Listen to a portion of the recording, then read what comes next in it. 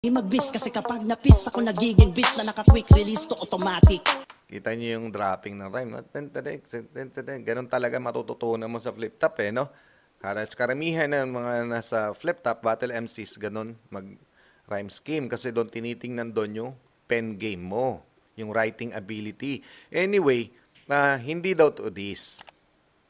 Pero kung ah, iti-take mo na ganun, sabi ni Damsa, eh dapat ready ka. O kaya hindi ka magmi-miss ng tira sa akin ha, kung lalaban ka. Parang ganun.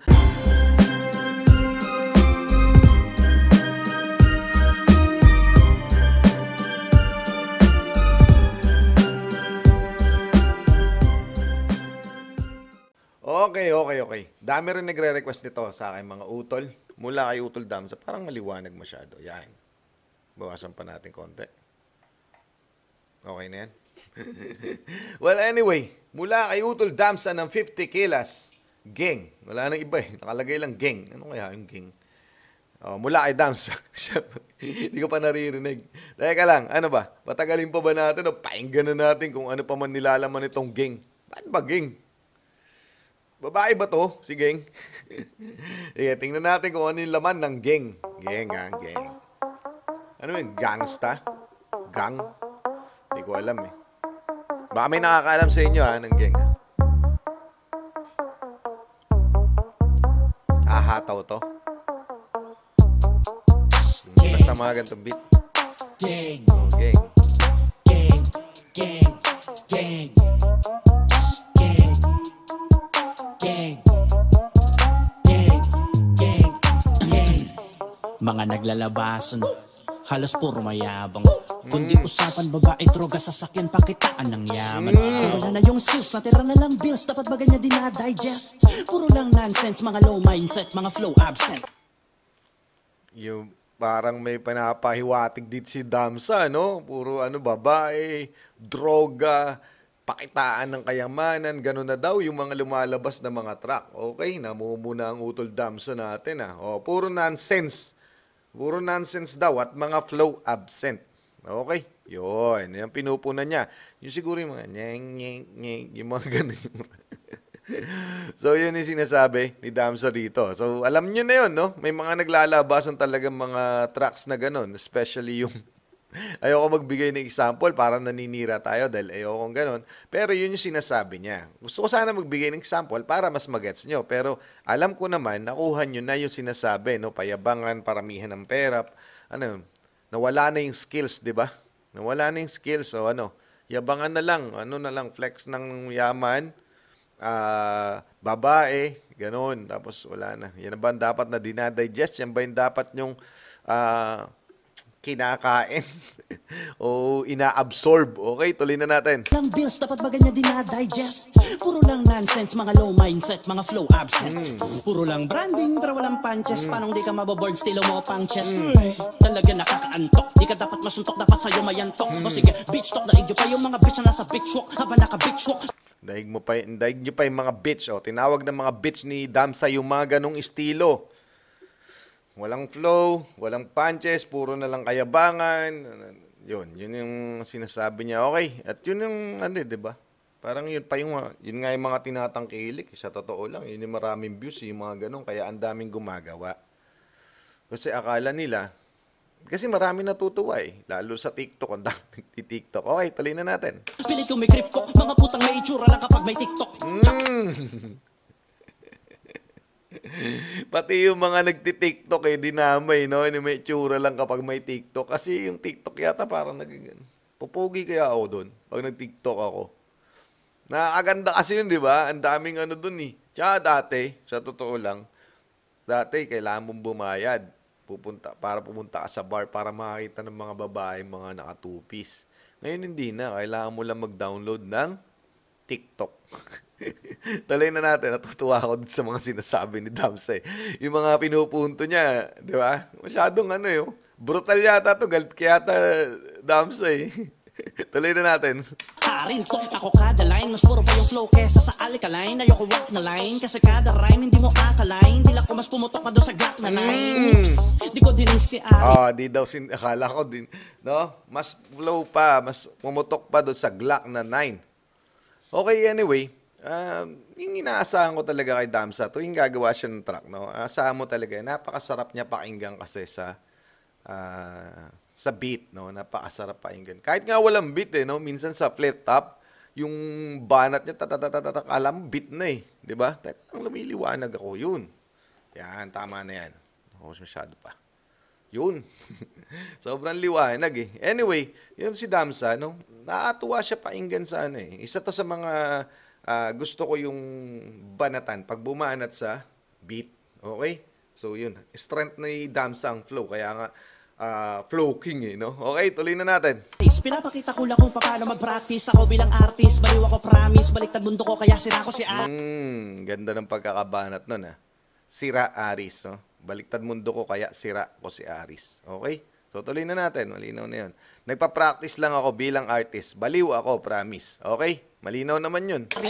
G, gagi pang wannabe Asit tai tai, batrip ka he Kasi kultura kong ginagalawan para pugad May mga pugante nang pinapatay pa lang sa bungad Puro pabanguhan ng utot Mga hindi makasabot lang ang hindi nasasagot Lagot kundi na maabot Puro pabanguan ng utot.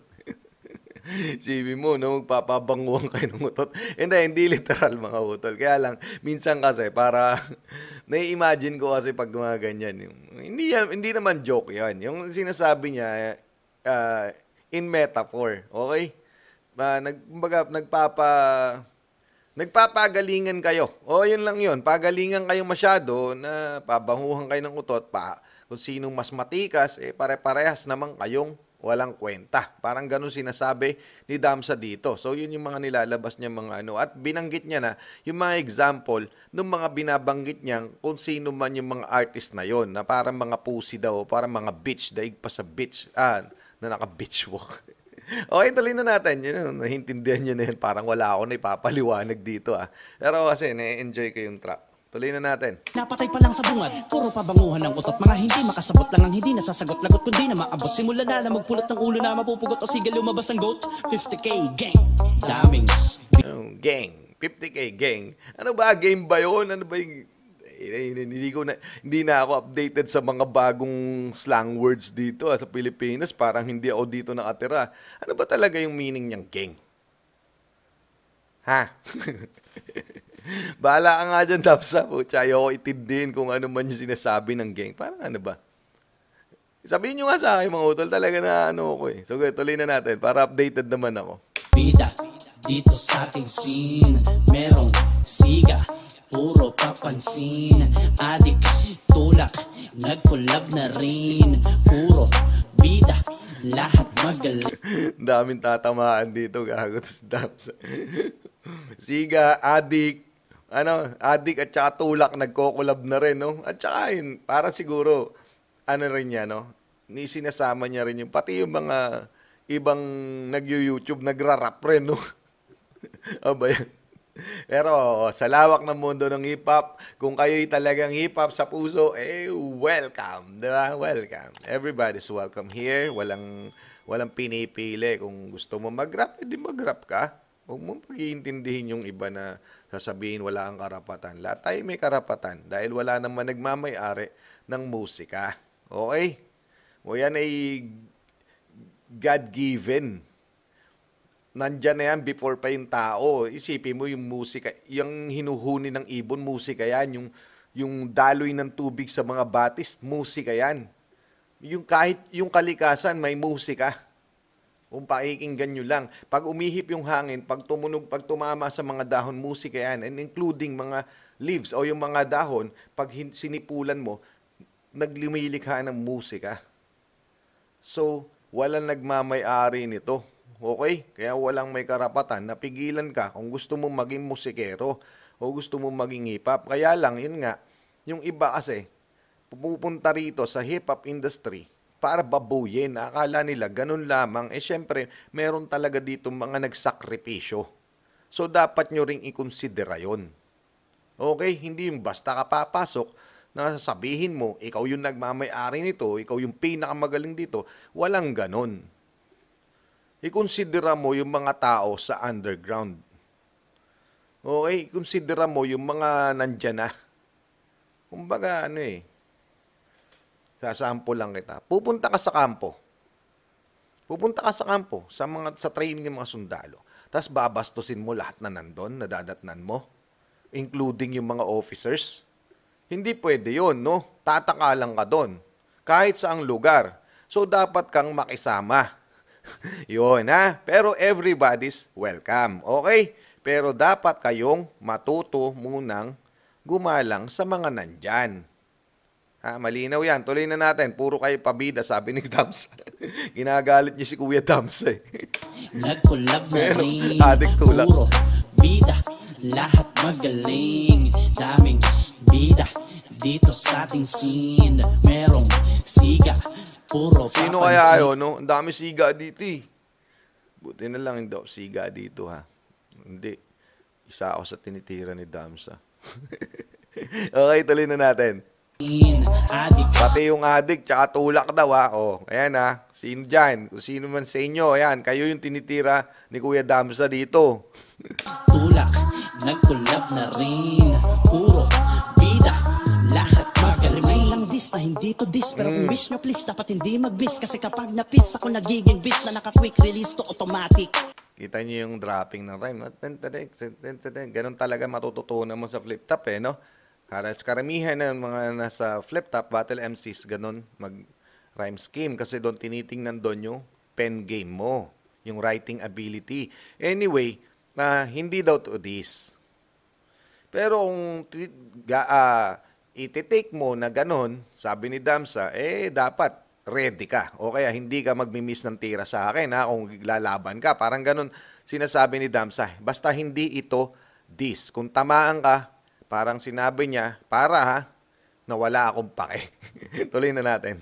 Sa bawat bala may laman na bara Sa bilis pa para sino mang humara Sa aking krus kakara, borutuga ara Narato matara, mabuto na maga Ito aking tactic sa kada rap beat Nagapak sa pang fifth na line Pa backflip ka rhyme ko pang flip na time Tipong nakamili infinite na mga titik na turan Hindi pinilitwik ka kundi mo naisip ko Ungit kitang inipit sa panggera Kung iniswit madali kitang binitbit Ang sarap lang eh, no? Ang sarap lang pakinggan. Yung Kumbaga, sobrang, alam mo yun, parang ayoko nang ihinto. Ayoko na magpaliwanag. Kumbaga, gusto ko na lang pakinggan ng pakinggan yung, yung dropping ng rhyme, no? Parang ganon. So, yun.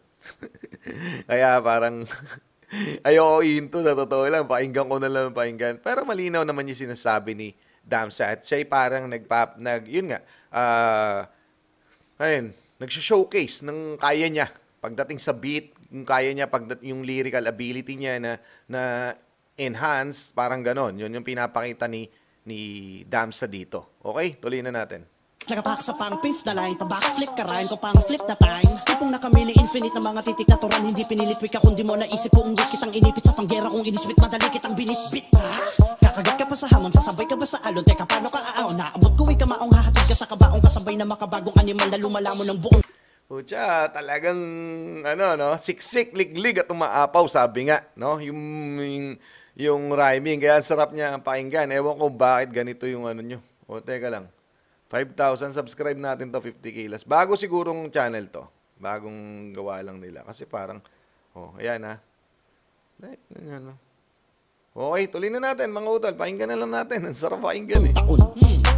Kaya tsak mapatrap na rap o boom bap Kada boom may doom sa bugwak Paurong gulong ng big truck Malabong tumirik full tank Baka ka nasaka tsaka wakataka ka pa Madafaka tanga baka madapaka Abaasa ka pa makapasa masasama ka sa tsapa Ayop talaga eh no?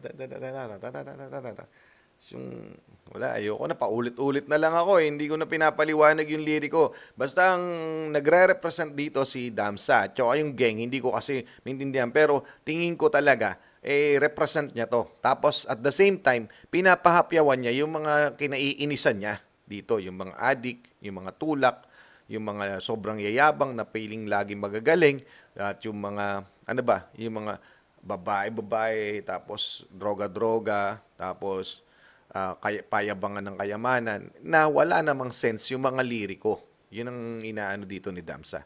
Okay? Tapos pinapakitaan niya, eto dapat, ganito yung ganito. Pero hindi ko kayo dinidis ha, sabi niya. okay, tuloy na natin. Masasama ka sa tsapa Di ko sinasabing ako ang pinakamagaling Pero kung gusto mo subukan, di ka dito iho Kung akala nyo ay madali lang tong gawin Huwag na piliting ihabin Talagang gamitin naman ang stilo Lamon ang paborito Oh, lamon ang paborito. Hindi niya sinasabing siya pinakamagaling. Okay? Pero kung gusto mo ko subukan, nandito ako. Okay? Yun ang sinasabi niya. Malinaw na malinaw yon. Okay? Hindi ko kayo hinahamon. At hindi ko kayo ah, binibigyan ng ah, sinasabihan na mas magaling ako sa inyo. Ako pinakamagaling dito sa sa rap game. Pero kung gusto mo kung subukan, nandito lang ako. Ready ako sa'yo. Kung sino ka man. No? Lamon ng paborito. Kung sino man paborito nyo, yun siguro yung sinasabi ni Damsa dito. okay, tuloy na natin. Daming bida Mm. dito sa ating scene Merong siga, puro papansin Adik, Dami tulak, nagkulab na Dami, rin daming papansin. Puro bida, lahat magaling Daming bida dito sa ating scene Merong siga, puro papansin Adik, tulak, nagkulab na rin Puro bida, lahat magaling Okay. Tapos na to. Written and performed by Damsa. Binabasa ko pa eh. Lang yan, ba't gumalaw? Produced by 50 Kilas Production. Recorded by Don D. Mix and master by D. Jack and Don D. Beat produced by D. Jack. Cover art by Kong Miko Perez. Lyric video El Capitan. Published for 50k entertainment. Anyway, and that's gang. At hanggang ngayon, hindi ko alam yung meaning. Damsa, ha? well, anyway, ah, salamat dito, Udol Damsa. Ako'y nag-enjoy at sana'y, yun, yun, ano, maririnig ka ng mga, ano, hindi nga daw this pala. Okay, okay. Anyway, muli ako si Target Achilles in behalf of the Real South Pride Production. Sana'y nag-enjoy kayo mga utol. Ako'y nagpapasalamat na walang humpay sa inyong walang humpay din na pagtangkilik sa ating channel. Okay, sandaan na tayo. Looking forward para magdalawandaan this year. Subukan natin. Ayun, maraming maraming salamat. Mag-iingat palagi. Keep safe mga utol. Palagi ko sinasabi, God bless at saludo ko sa inyong lahat.